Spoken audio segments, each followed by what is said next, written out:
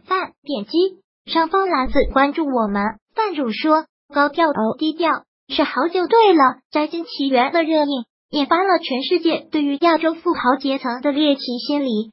这个电影改编自作者 Kevin Kwan 的小说《疯狂的亚洲富豪》，另外还有两本小说也很火，《中国富豪女友》《富人的烦恼》。在《摘金奇缘》中，富人们穿金戴银，夜夜笙歌，动不动就搭乘私人飞机满世界度假、开派对，生活看上去逍遥自在，但同时也让很多普通人好奇：他们的生活真是这样的吗？别想又拿《小时代》那一套来糊弄我们啊！饭主之前介绍过，原著作者 Kevin Kwan 本人就是如假包换的富恩代，他的家族不仅是新加坡的三大富豪家族之一，他的曾祖父还是新加坡历史最悠久的华侨银行的创始人之一 Jimmy Clark，自然不能错过任何高造型的机会，因此边泡澡边俯瞰城市景色。绝对是这些 INS 上的新加坡富豪们最爱的炫耀姿势，Adrian 也不例外。另外，吃饭时也要有美景相伴，要么就像 Will b e l o n g 这样，在位置最好的餐厅，一边吃饭一边俯瞰城市景色；要不然就像 Adrian 这样，在室外一边享受日光浴一边吃 brunch。而不管在餐厅卧室的哪个角落吃饭。他们白天少不了奢华洋气的摆拍，到了夜间派对，成批量的顶级香槟立刻成了主角。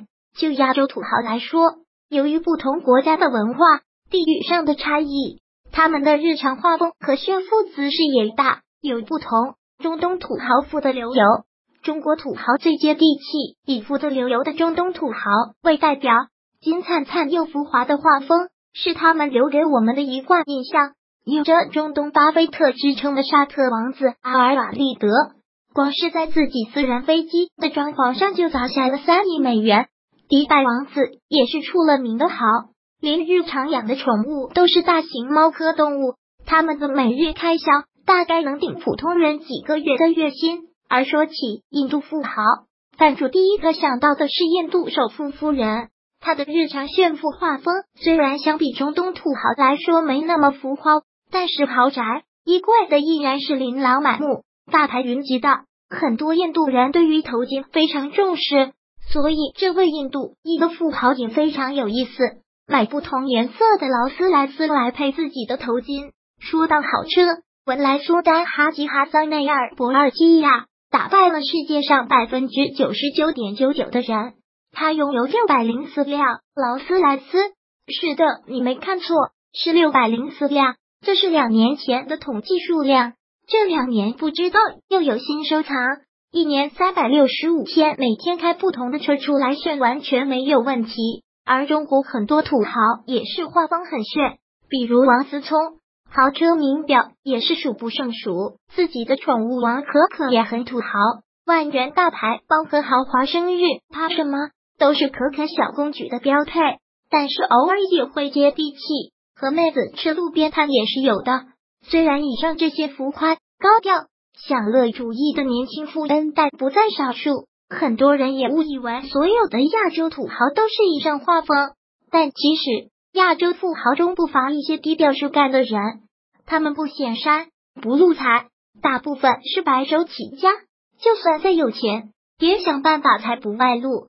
在中国的富豪中，李嘉诚是低调朴素的代表。他可以一套西装连续多年都在穿，而价值一千港元的西铁城腕表，他出席活动一戴就是十年。虽然私底下他是百达翡丽顶级 VIP，但是很少见他带出来显摆。还有董小姐，虽然也是顶级珠宝的 VIP，不差钱的女企业家，但平时穿的是打折名牌，买任何东西都讲究性价比。同样的，在新加坡。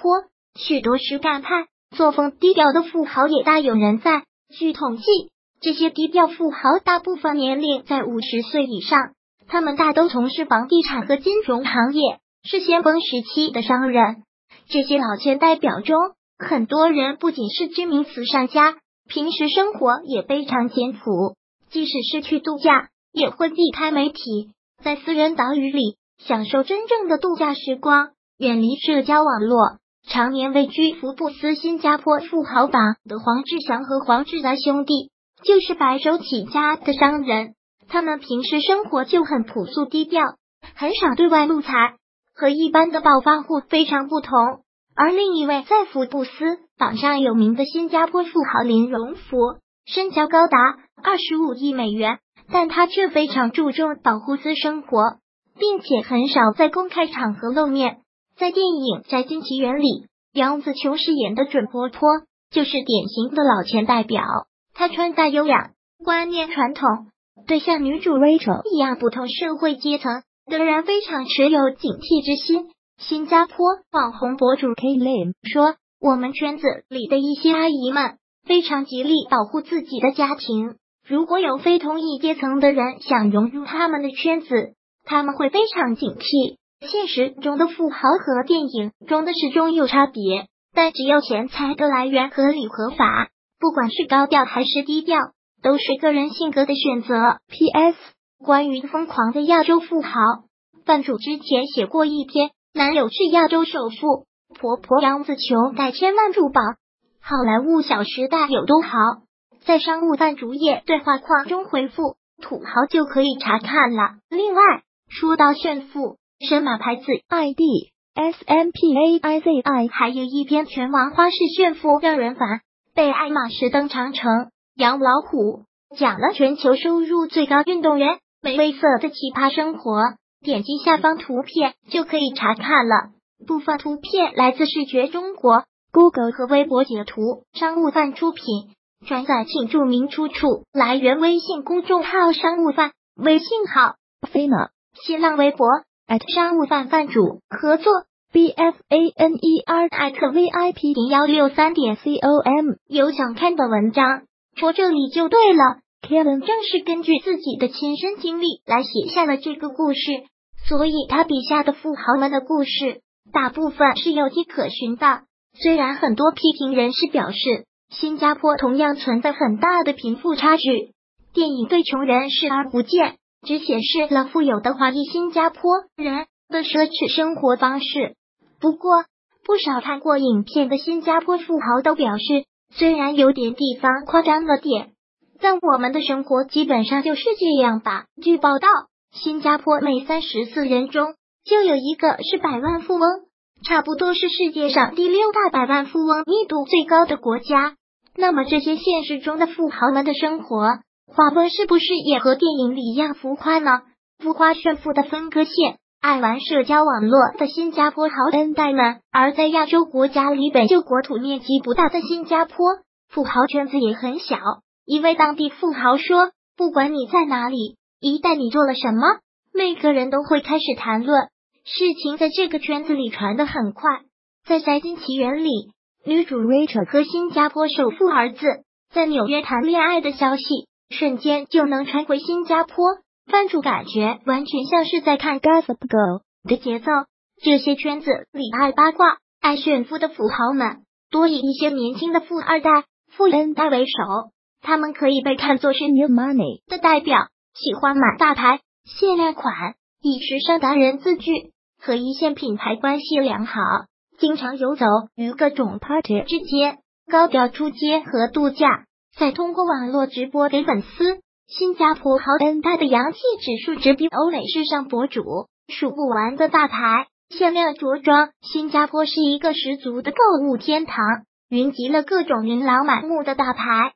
很多当地富豪买奢侈品也非常疯狂，他们大部分拿着 VIP 客户卡，但凡进店就会被直接带到 VIP 室。很多限量定制款都会专门为他们保留。女生都有一屋子爱马仕，普通人都能买得起的大牌，并不是他们在 INS 上炫耀的点。对他们来说，品味是其次，以量取胜才是他们追求的终极目标。